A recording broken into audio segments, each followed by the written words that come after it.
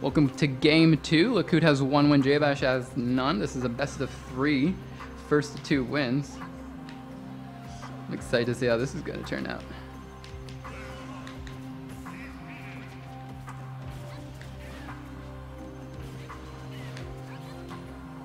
And here we go. Lacoot going for the egg, going for the down arrow, did well from last game, but I think Ness might be a little more evasive to that. Already going for a down throw to feigned nothing. Just waiting for him to land and get another grab. A well, uh, a smart strategy because he didn't have too much luck landing those forward airs in the last match.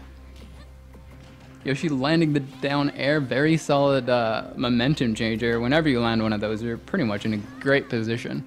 Yoshi down being to get back to stage. It does well for him because Ness can uh, really do damage to you if you're in the air. Yoshi thankfully has a way down to the stage. Ness tossing that up air out, hoping it'll give him a safe landing, but it did not. He's got to be careful about that. Ness's issue is definitely off stage, recovering, and landing. He doesn't have a good way of juking out and stalling or anything like that, so you got to be really careful as a Ness player when you're trying to get back on stage safely and not be punished.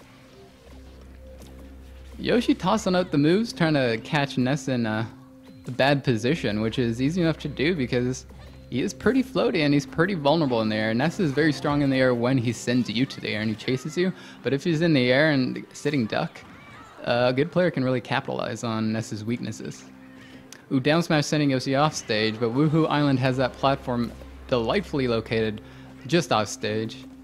It's a pretty wide stage actually. If you look, the side boundaries are not too long and the ceiling doesn't seem to be too high either. This is going to result in a lot of lower um, percentage KOs in this match. Lacoot currently at 104 and sitting there comfortably, not really too worried he's going to lose to Toxin, but one grab can change the pace. This is the walk-off segment, but it's not going to lead anywhere for both players. They're staying safe on that walk-off section of the stage. Yoshi trying to land the grab, it's not working out. Dodging both players, and that down smash is gonna do great in spot dodge scenarios. Got him in the egg, not getting a punish, but that's okay.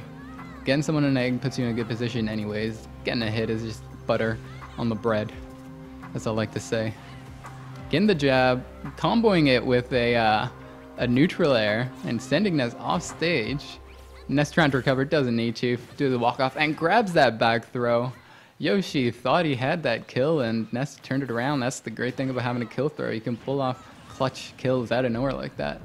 Go for another feign nothing jump. A very smart decision. Waiting to see what Lacoot's going to do in the air before he commits to something, and Laku just doing that up air to get Ness out. Both of these characters have very strong kill options in the air, and that's resulting in a lot of uh, very quick damage and very quick KOs. No player's really staying at a high percentage. They're getting knocked out pretty quickly, and Smash 4 is proving to be a pretty quick game in this respect. Kills are not, don't take as long as they did in the 3DS version, that's for sure. Especially against characters like this who can both KO pretty safely and have a lot of uh, KO options in general.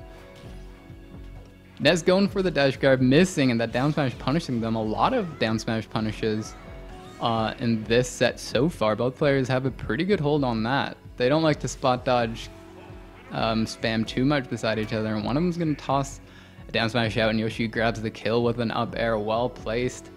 Very good game there. Lacoot getting game two and winning this set.